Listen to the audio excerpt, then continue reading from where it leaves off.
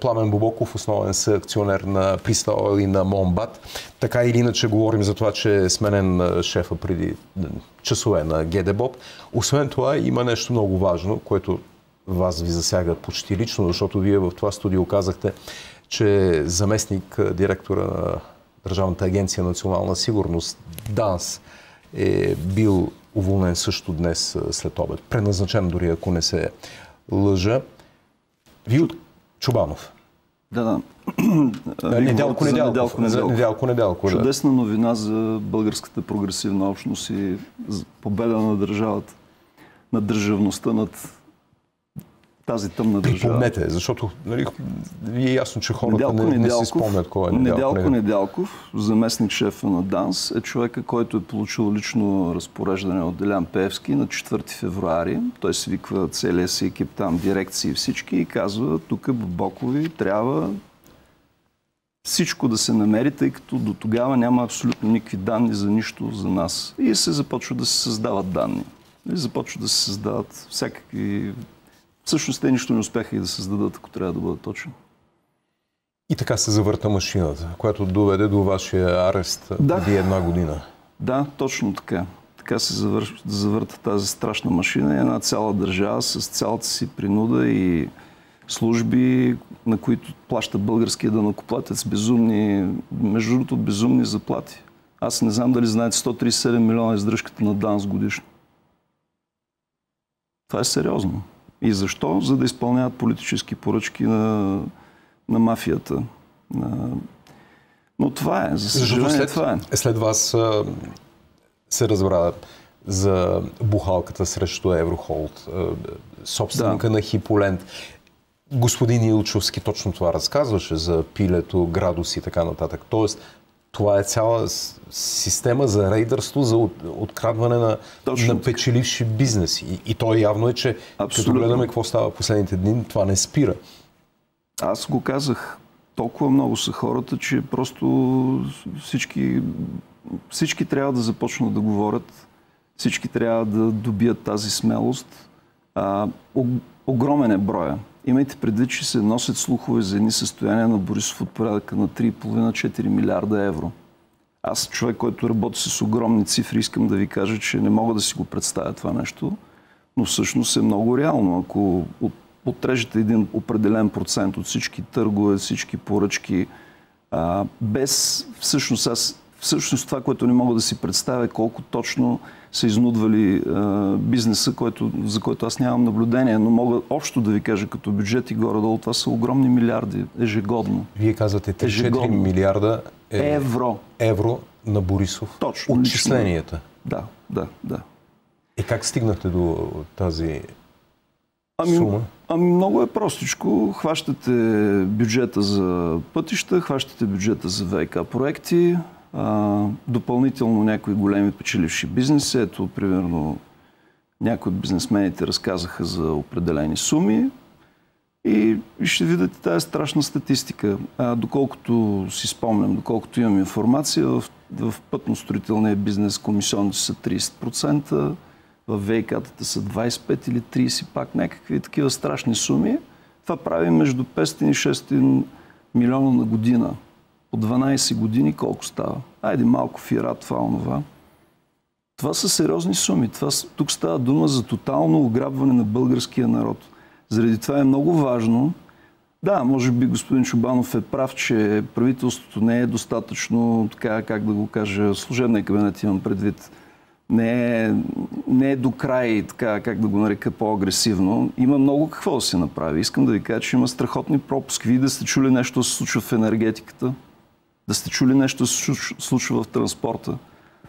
Сега, вярно, направили се грешка, то, както се казва, който не работи, той не греши. Нали? Все пак, в крайна сметка, трябва да дадем някакъв толеранс. Освен това, като има грешка, има и прошка. Може пък президента или новия премьер нали, да, да решат да сменят. Няма никакъв проблем да сменят някои лоши назначения. Не виждам какъв е проблема.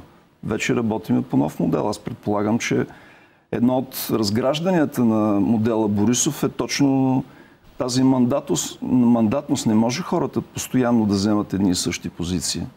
Не знам дали знаете, че Марк Твен бил казал, че връзката между политиците а, и памперсите, че трябва да се сменят редовно по една и съща причина. Впрочем, утре аз ще говоря за Българската банка за развитие с бившия заместник финансов министр Георги Кадиев, който днес в Фейсбук извади също един не особено приятен факт за това, че сегашният шеф на НАП, който прословутата фирма, да. която е прехвърлил, го е направил по време на действието на ревизионния акт, което всъщност е също голям проблем.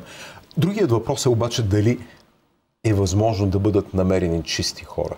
Не, че не е възможно, но... В интерес на истината, точно аз това си мислех. Представете ли се до каква степен е западнало българското общество, до каква степен е разрушена държавността, да не можеш да намериш подходящи хора за такива сериозни позиции. Всичко е унищожено. Това е Борисов, Борисов и кликата около него, това е като едно заразно зло нормални хора, гледаш ги нормални хора преди това, които са били, да речеме, противници или са критикували, изведнъж стават а, ревностни почитатели, купени, нали, разбирате, всъщност става дума за покупка. А, няма да ги изброявам, вие ги знаете. Герб, герберските ничери, както им викам аз. И изведнъж гледаш го нормален човек, който се преобразява и започва да прича на зомби копия на Борисов. Той Вие е- имате предвид журналисти, Не, не, имам предвид политици, имам предвид политици, имам предвид да. как, да, да ги изброявам ли, Даниел Митов да ви го покажа, или Сачева, или а, онзи депутат а, Биков. Това са, нали, те са, те са, те са просто не само пресъздават образа на своя вожд, ами те отиват и в още по-големи крайности. Така че да ви кажа честно, не им е лесно нито на президента, нито на премиера и на екипите около тях да намерят свестни хора и трябва да бъдем толерантни. В същото време, а, то толерантно само трябва и те да действат. Трябва по-сериозни действия. Какво, безспорно. например? Ами според мен в Министерство на енергетиката се крадат пак около милиард на година. Там има едни хора, които стоят заедно с Борисов, делят с Пеевски. Става дума за едни големи проекти, за едни а, а, електропроводи. Ами този от разбойна. Тенчо от разбойна. Как ще го членуваме? Разбойническия Тенчо. Разбойническият Тенчо откраднал човечеца едни 300 милиона за последните две години. И продължава да се краде и никой нищо не прави. Никакви ревизии, нищо не се прави. Министерство на транспорта.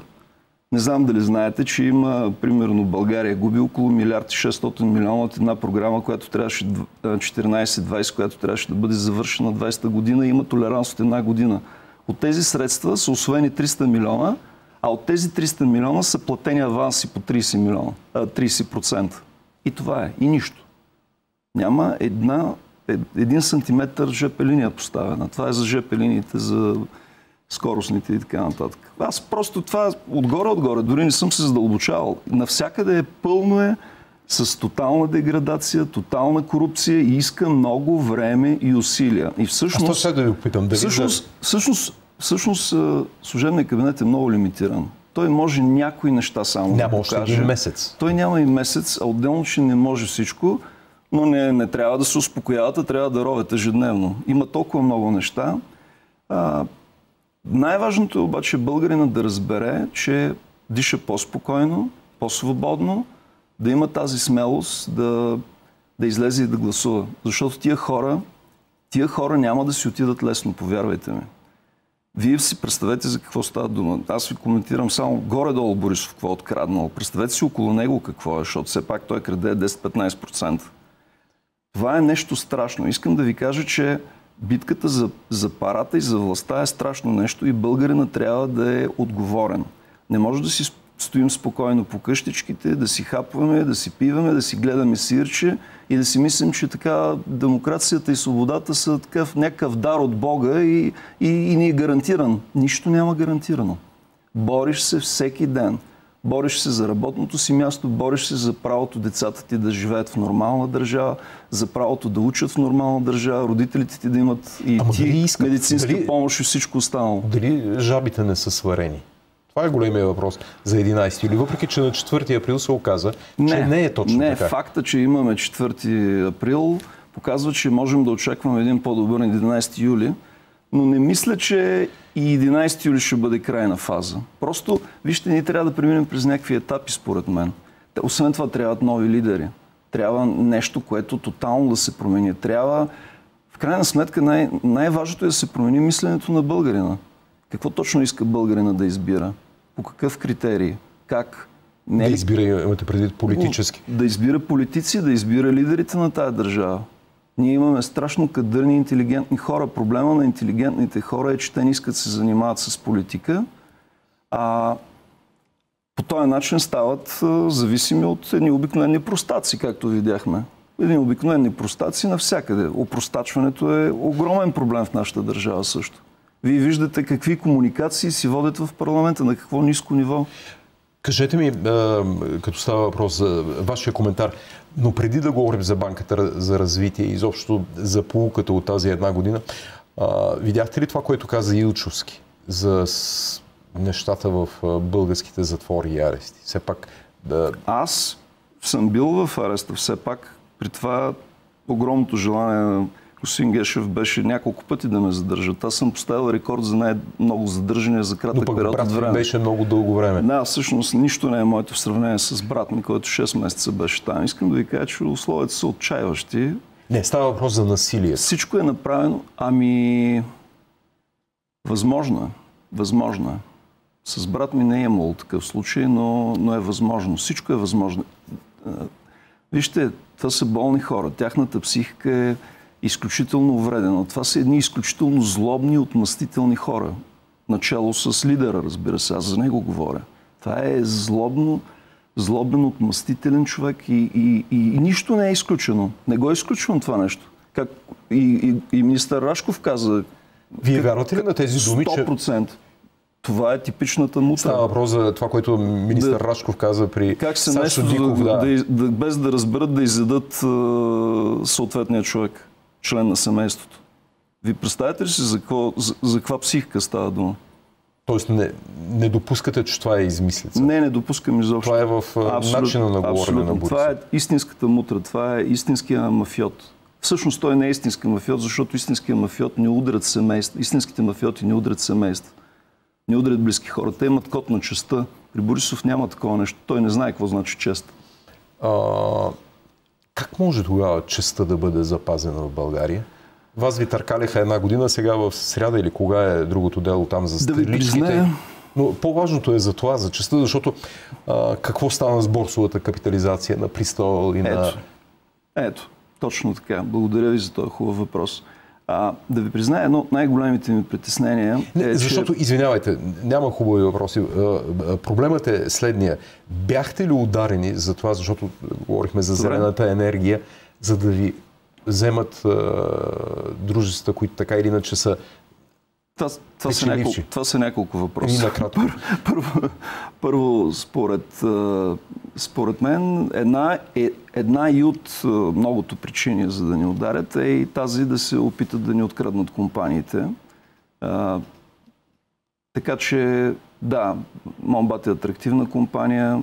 Да, удара трябваше да стане чрез намаляване на борсовата стоеност, чрез предизвикане на паника у кредиторите и някакви вълшебни финансисти, които да дойдат и да ни предложат. банките да не се Но... отдръпнат, защото най-важното банките... Ами ето идваме до честа и достоинството. Ето сега ще ви обясня.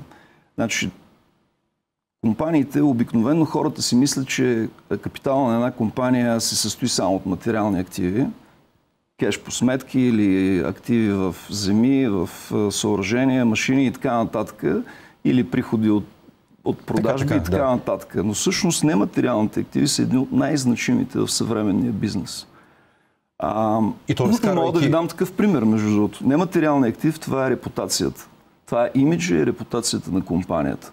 Всъщност няма никакво значение колко е голяма една компания. Ако тя има лош имидж и разбита репутация, тя може да фалира за отрицателно време. Защото светът е до такава степен глобален, че това не може да не се отрази. По същия, по този повод, между другото, а, благодарение на нашия изключителен, на, на нашия добър имидж, айде да не отивам в крайности, но добър имидж, международна репутация, а, ние успяхме да, успяхме да се съхраним и успяхме да съхраним и а, компаниите. Mm-hmm. Защото нашите международни партньори ни познават, те ни знаят. Те, те нито за секунда никой от тях не допусна, че това е възможно. И че е Обаче е вярно. това сте вие. А когато е една малка компания когато ги влачиш по затворите или в същото време, как се, как се Няма оцеляване, фалира. Няма, приключваш. Приключваш. Просто фалираш и приключваш. Спират да те финансира Енската банка и край. На другия ден си на улицата. А този въпрос за честа и достоинството на хората, между другото, това, за което в началото вие започнахте, е много интересен и това е едно от най-големите ми разочарования, открития за самия мен. Аз не знаех, че ние, ние сме в толкова дълбока обществена криза. А, всъщност ние нямаме механизми да защитим честа и достоинството на гражданите на тази държава. Има, разбира се, формално, сега ще кажат всички юристи как има такива текстове, можеш, отиваш и какво. Водиш, примерно, едно дело срещу а, една от а, енските медии на Борисов или Пеевски, няма значение. Водиш три годишни дела на три инстанции и се осъждаш за 5 до 10 хиляди лева, защото Върховният съд, видите ли, бил приел, че не можело да има морални щети и вреди по-високи от 10 хиляди лева. Вие разбирате ли за какъв смях става дума? Ако няма една правилна оценка и няма някаква съдебна практика, която да е в посока истинско, истинска защита на честа и достоинство. Вие си представете, 29 години ние работим, за да изграждаме нашето име и престиж.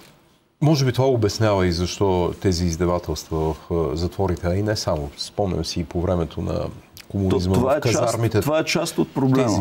Това е част от проблема, точно така. А, какво очаквате да стане? Вие казахте, че правителството няма право да, Аз, да пропуска по времето. съм оптимист. Аз съм огромен оптимист, даже отчаян оптимист, както казват някои мои приятели. Аз вярвам, че нещата се развиват към по-добро. Казахте нещо много интересно. Диша се по-спокойно. По-свободно и по-спокойно, да. Хората трябва да повярват, че нещата ще се променят. Трябва да станат и трябва да ги изметеме. Това е истината. Няма, иначе няма, няма бъдеще за нашите деца, за, за внуци и така нататък. Просто хората трябва да са мотивирани и да станат. Не трябва да се отпускат. Това е едно ранено животно във ъгъла, което докато си даде последната капка кръв, ще се бори на умиране, да знаете. Това са... Тоест, на всичко са способни тия хора. На всичко са способни. Заради това не трябва да се отпускаме до пълната победа. Трябва да се ходи, трябва да се гласува от чужбина. Максимална мобилизация. Максимална мобилизация, за да се решаващ удар на тази мафия, защото тя има огромни средства и може да се възпроизвежда. Не случайно някои говорят за събаряне на целия модел. Така трябва, наистина. Не говоря само за конкретните хора. А тези пари аз, ще могат ли? Да? Аз смятам, че една от най-големите трагедии на нашето общество е липсата на справедливост. А справедливостта, както знаете, върви ръка за ръка с възмездието. Докато няма възмездие за хората, които Ма какво възмездие? са заслужили... Гешев си е главен прокурор. Той затова Рашков казва, не искам, да, не искам да давам Прав сигнал човек. срещу Борисов. Да, защото Гешев му е за страховката. За какво мога да направя? Гешев няма да си мърдне пръста. Но вижте, имайте предвид и хората трябва да го знаят. Със следващите избори се гарантира края на Гешев. Гарантира се края на всичките спецсъд, спецпрокуратури, е, всички тия, които с френетични крясъци обясняват какво, колко лошо било да се закрие спецсъда и спецпрокуратурата. Няма по-хубаво нещо от това. А тези сравнения... Извънредното с... правосъдие е забранено и в нашата конституция. Кой им дава право да си мислят, че са толкова специални? Какво толкова специално са направили? Нищо. Какво направиха за нас една година по-късно, знаете ли? Нищо. Нищо. Ние нямаме, нямат нито едно доказателство за нас, че сме правили някакъв незаконен внос на отпадъци първо. Че сме правили незаконно депониране. Вие, вие знаете ли какво е срещу мене обвинението? Че съм давал съвети на брат ми и той ме бил слушал. Това е обвинението. Не а обвинението сега към новата власт, че връща турското робство, 9 септември, тези пиар послания. Завършваме с две думи. Най-вероятно Борисов знае за турското робство, само че е пропуснал друго, че има освободителни войни. Освободителните войни са примера, който той, за съжаление, не, може би не може да го даде. Нека да го приемем като възстанието на Петър Ясен и освобождаването на българските територии. А, какво дели България с Македония, като говорите за имаме след малко разговор с Владимир Владимиров. България и Македония имат ли нещо, което да делят? Наистина излязохме извън време. Ами, най- ами най-вероятно имат доста какво да делят, но според мен аз мога да ви кажа кое може да бъде общото между двете. Можем да си поделим Борисов, ако искат, с всичките му дядовци, защото той има дядо антифашист, има дядо а, син а, най-вероятно на някой войвода. Той, той е такъв. Даже ако може да му го подарим най-добре, да ви кажа на македонците. И те да имат малко самочувствие, така да видят какъв голям юнак ще имат. Благодаря. Пламен Бобоков.